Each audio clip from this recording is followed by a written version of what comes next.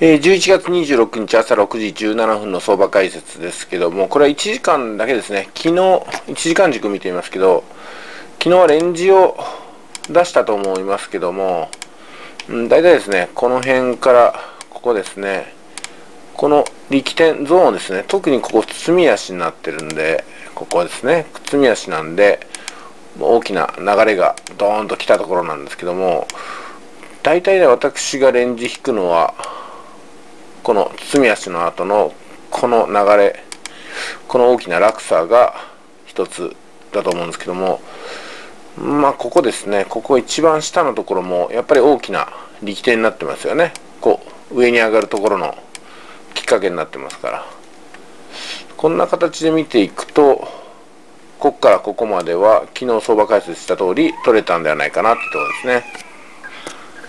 えー、っとね再現するとちょっと声聞こえてますけどすいませんね。えっとね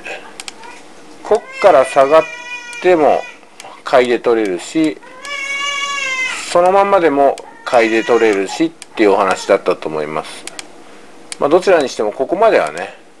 ずっと買いで取れるんだよっていうことを昨日お話したと思いますけどもまあまんまとその通りになったと。まあ、ただね一旦下がって上に行くっていうことではなくってそのまんま昨日の解説のまんま上の方に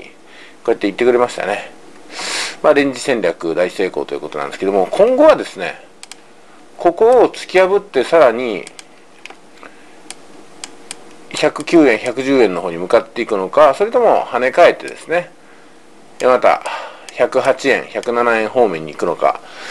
もし下がるにしたらここまでは売りで取っていけるんじゃないかなっていうところですね。はい、えー、本日は以上です。